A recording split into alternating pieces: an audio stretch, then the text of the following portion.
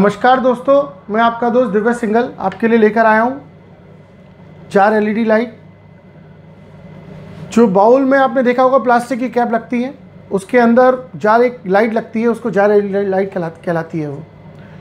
ये लाइट इस प्रकार से होती है, ये हम लोगों की पल्प पैटो के नाम से ये लाइट मिलती है बाज़ार में। और ये बहुत ब्राइट है, बहुत सुंदर है डिफरेंट डिफरेंट कलर्स में आती है ये। मैं आपको इसके बारे में अभी दिखाता हूँ कि ये कैसे पैक होती है, कैसे बनती है फैक्ट्री के अंदर।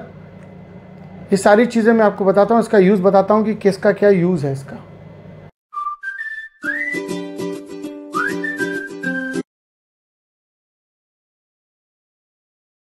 कि जार एलईडी लाइट कैसी होती है, ये जार एलईडी लाइट है। ये कंप्लीट है ये। इस तरीके की कैप आती है बाज़ार में, बाउल्स के लिए। ये बाउल मिलता है, फ़िश बाउल। इसमें एक कैप लग जाती है ऊपर से ऐसे। ये स्पेशली इसी के लिए, इसी कैप के लिए ये लाइट बनाई हुई है।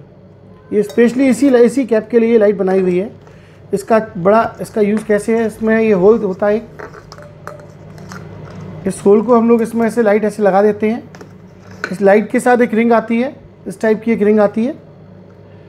उस रिंग को हम लोगों ने ऐसे करके इसमें ये लॉक लग जाता है। ये आपका लॉक लग गया। अब ये लाइट कहीं नहीं जाएगी और ये लाइट सिंपल लग गई। आपका जा रही लाइट तैयार है, बाउल तैयार है। ऐसा लुक आएगा इसका, इस टाइप से लगती है। सेम सेम साइज़ आपको ये एट इंच का है, ये आपको टेन इंच में मिल जाएगी। टेन इंच की कैप भी ऐसी होती है सेम इसमें लाइट लग जाती है।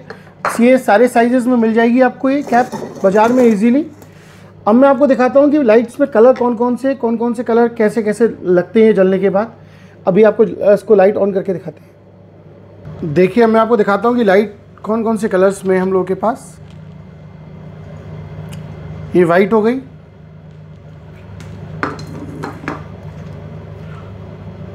ये ब्लू होगी। ये ब्लू लाइट है।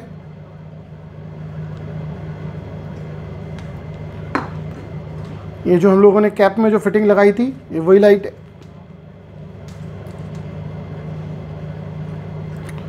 ये वम वाइट येलो हो गई।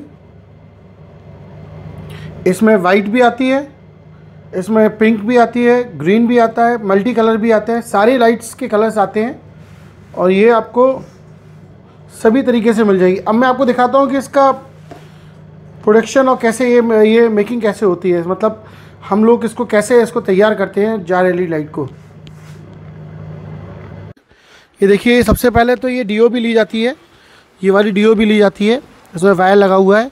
उसके बाद ये प्लास्टिक की फिटिंग आती है हम लोगों की। उसमें ये डाल दी जाती है डीओबी के साथ और उसमें लॉक लगा दिया जाता है। एक इसके साथ रिंग आती है। ये रिंग रिंग होती है। जिससे कैप, बाउल कैप में जो होता है, ये इससे लॉक लग जाती है, इससे हैंग हो जाता है। और ये उसके बाद बॉक्स में चली जाती है। इस तरीके से जार एलईडी लाइट हमारी तैयार हो जाती है।